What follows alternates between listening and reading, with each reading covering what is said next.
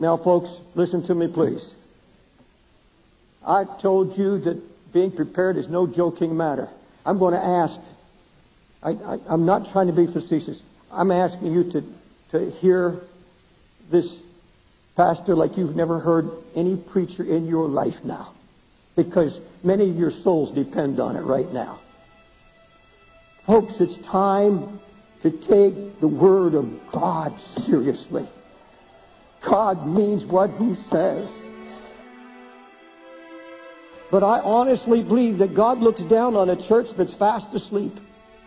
He's looking down right now on a church that is unconcerned about his soon coming. The church no longer is intimate with Christ, no longer dependent wholly on God, dependent on the Holy Spirit, but running around with schemes and plans and dreams and networking and strategizing and committee meetings, trying in the flesh and sweat, trying to make it rather than depend on God, Almighty God. The church doesn't need anything else but God Almighty on His throne. And now, for the sake of unity, compromise, in comes the gospel of prosperity and the good life. I have to stay on my knees like I did this past week, get alone with God and just walk and cry and scream. Oh God, break my heart. Don't let me get addicted to the easy life the desire for things. That's why the Lord says, don't set your heart on the things of this world, but set your heart on me, Jesus said. I will be your life. And there's a thought that says, Oh Lord, one of these days, this is all going to burn. This is not my life here, Lord. Thank you for this piece of furniture. Thank you for my car. Thank you for the finances you're supplying. But oh God, it's all going up in smoke very soon, Lord. You're my life. When you have time for friends, for family, for relatives, you have no time to dig into the Word of God. You have no time to pray and seek the face of God. And you tell me Christ is your life?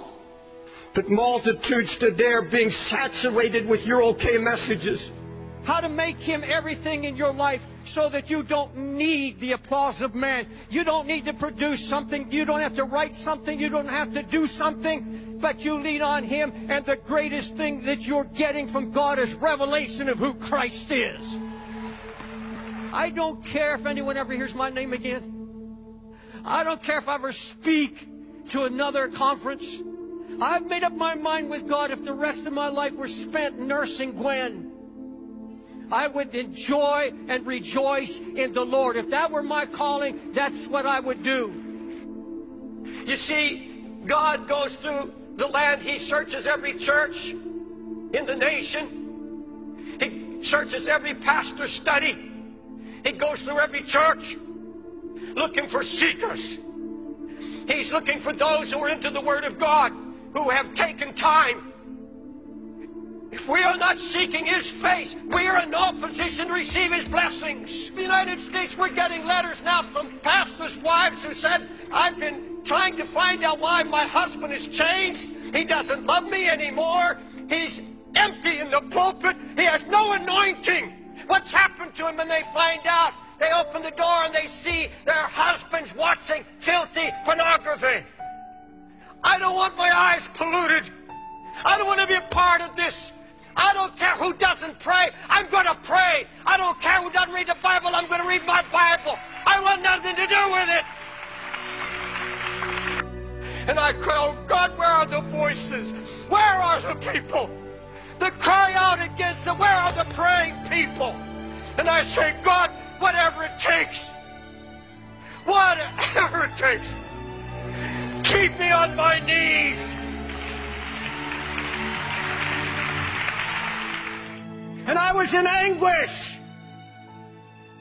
I was in anguish four blocks from here on Broadway weeping and crying and wailing. I wasn't looking for a ministry. I wasn't looking to build a church. I was feeling God's pain for a lost city. He's going to show you the condition of His church. He's going to show you the condition of your own heart. And He's going to ask you a question. What is it to you?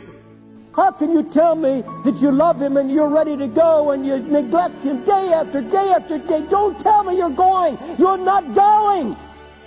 you're going to be left behind.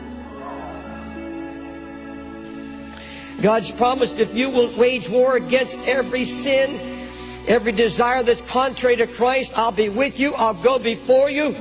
But folks, the man who really wins the battle, the man who's ready to face anything that the devil throws out of hell, is the man or woman that's been studying God when there's no crisis, when everything is well, when there seems to be blessing and prosperity. That man is diligent before God and seeks his face.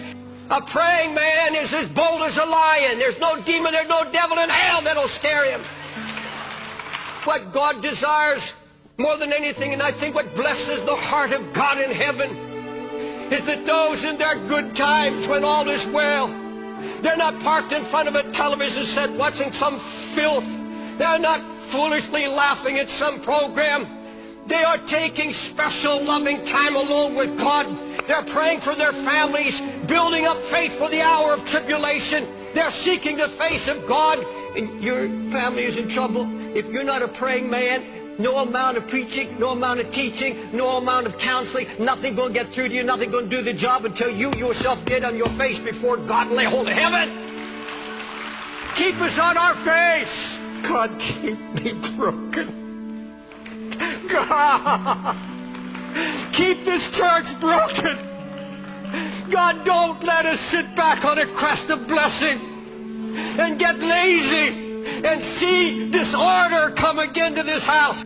We don't just want crowds. We want your glory in this house, oh God. We want your glory and your power. I tremble at your word.